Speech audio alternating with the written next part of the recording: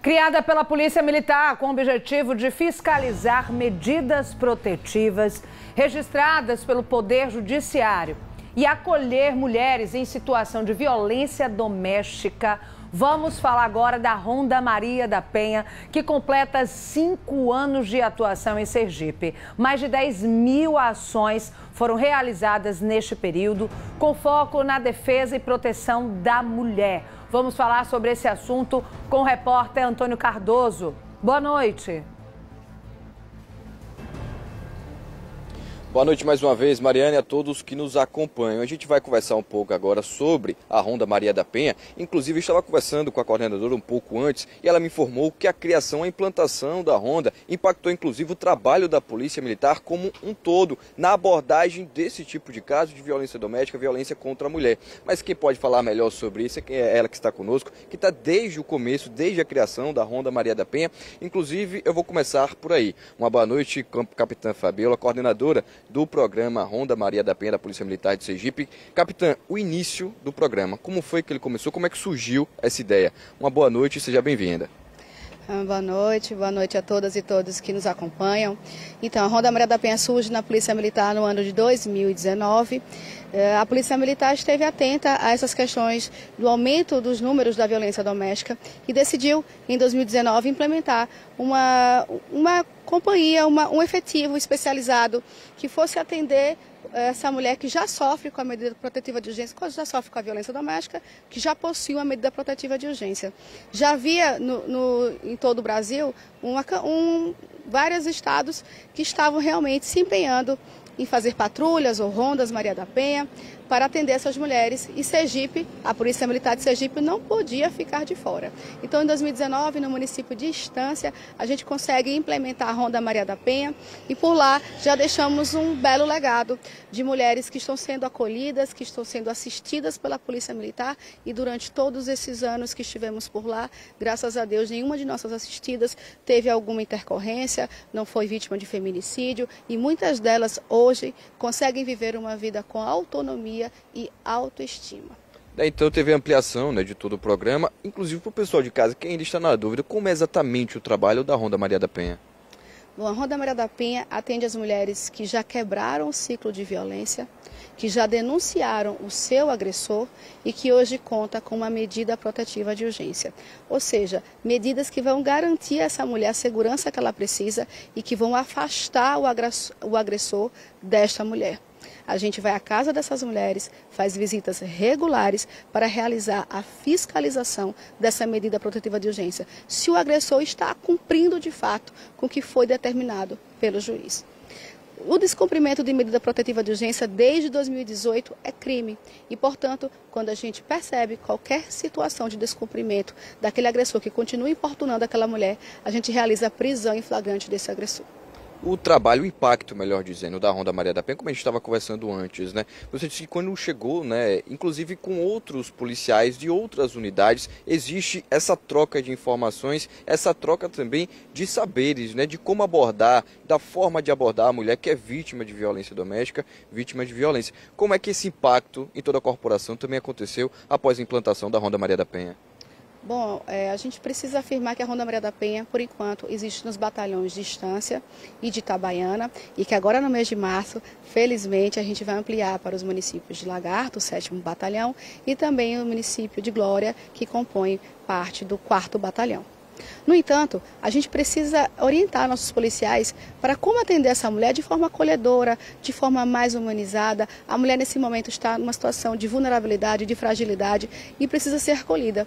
Então a gente faz é, rodas de conversa com nossos policiais, capacitações feitas regularmente. E, além de tudo, nós conseguimos inserir no nosso, na nossa malha curricular, nos nossos cursos de formação, uma disciplina que se chama Enfrentamento à Violência Doméstica e Familiar, para que esse policial possa atender essa mulher de forma a não cometer uma revitimização e que ela possa ser acolhida e ser também orientada a como buscar outras ferramentas que existem em nosso Estado para que ela consiga eh, alcançar de fato eh, uma, uma liberdade, ser livre daquele relacionamento e consiga seguir a sua vida. E hoje o Dia Internacional da Mulher, o dia onde se faz né, os cinco anos da Ronda Maria da Penha e também com as, a chegada né, de novas viaturas. Existe uma ideia, uma vontade de ampliar ainda mais o trabalho da Ronda? Sim, o comandante-geral da Polícia Militar de Sergipe está atento a essas questões e tem se mobilizado muito para que a gente consiga cada vez mais chegar a mais mulheres sergipanas. Então, no dia de ontem, como parte também das comemorações desses cinco anos de Ronda Maria da Penha, foram entregues novas viaturas para os batalhões que vão ter a Ronda Maria da Penha. E ele pensa, sim, ampliar para outros municípios, para que os nossos batalhões possam ter núcleos de Ronda Maria da Penha e naquelas localidades as mulheres poderem ser assistidas uh, de, forma, de uma forma mais acolhedora, de uma forma mais próxima e consigam realmente eh, essa, essa segurança que elas precisam em todos os batalhões. Então a Polícia Militar está atenta e como parte dessa rede que acolhe e atende mulher, a gente sabe que tem um, um papel primordial por estar em todos os municípios do nosso estado. Então a gente está atento a isso e o comandante-geral ele está realmente muito sensível a essa causa. Eu acredito que a gente ainda terá grandes novidades e alcançará grandes números nesse enfrentamento à violência doméstica. Capitã, hoje é o Dia Internacional da Mulher, um dia importante. Desde o começo do programa, a Mariana também está lembrando que não é um dia de dar parabéns, de dar rosas, mas de lembrar de ações efetivas, de conquistar mais espaços, de celebrar, claro, as vitórias como a Ronda Maria da Penha. Mas um dia como esse, a capitã que trabalha diretamente com essas mulheres vítimas de violência, a capitã que vive este ritmo e que vive este cenário.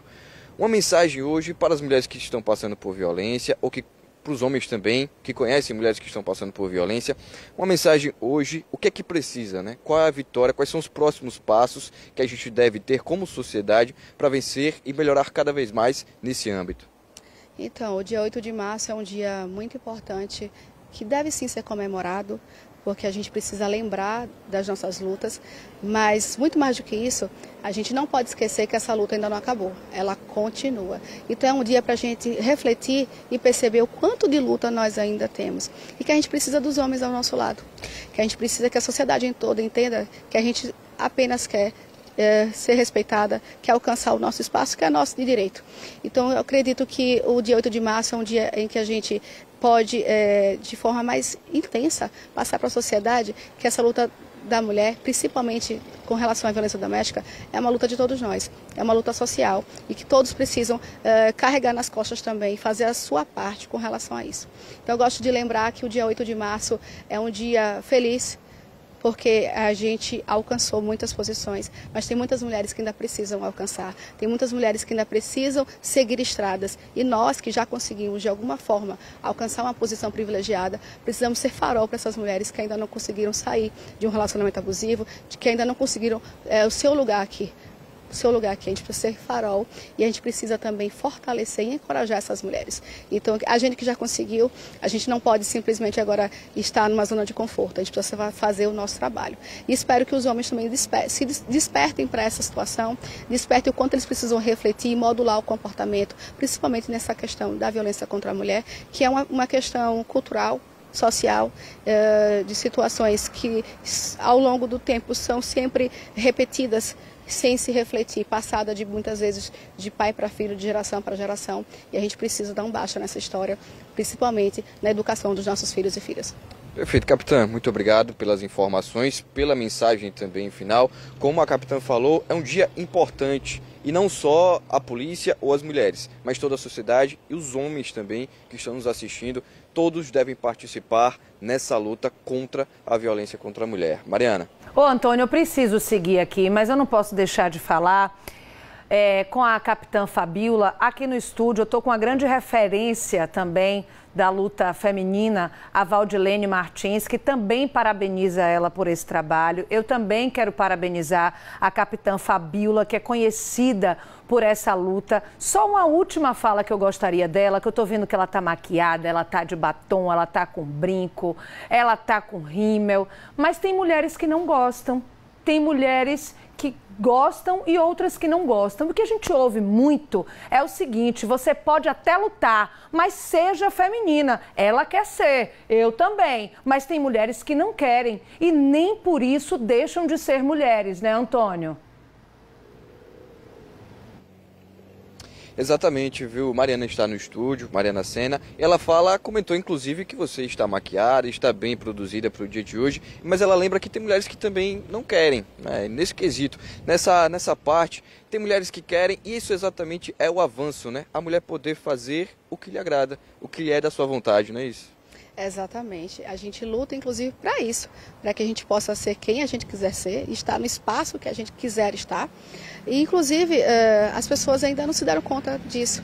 E o quanto nós mulheres somos julgadas muitas vezes porque não, não, a gente não quer ter filho, porque uh, não é uma prioridade, porque está priorizando uh, o trabalho, tem que priorizar a questão uh, de ser mãe, que o tempo está passando, a gente o tempo todo é questionada sobre essa, essa questão do tempo, da idade, eh, de quanto o nosso corpo é objetificado e por isso essa questão da beleza e essa luta do corpo perfeito, de uma estética perfeita e tantos procedimentos estéticos nós somos cobradas o tempo todo e nós precisamos também despertar para isso enquanto mulheres, de que muitas vezes isso é uma cobrança do patriarcado, uma, uma cobrança de um mundo machista em que nós somos criadas e muitas vezes a gente não percebe isso. Então, que a gente perceba se essas vontades nossas são nossas mesmas ou se é uma imposição social desse mundo que é, foi pensado e criado inicialmente por uma mente masculina. Né? E agora que a gente está tentando se colocar nesse mundo, que a gente reflita também se a gente está ou não ainda refletindo situações é, passadas.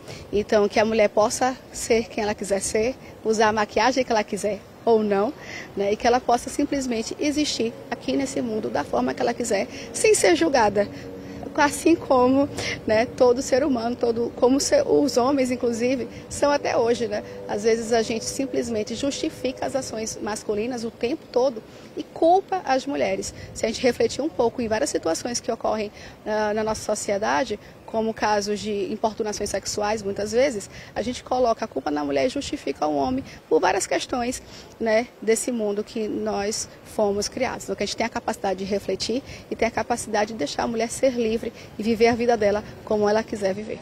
Mais uma vez, muito obrigado, Capitã Fabíola, pela informação, pelas palavras e pela mensagem final. Eu já não tenho muito o que dizer, né? Ela falou tudo agora. Mariana, contigo.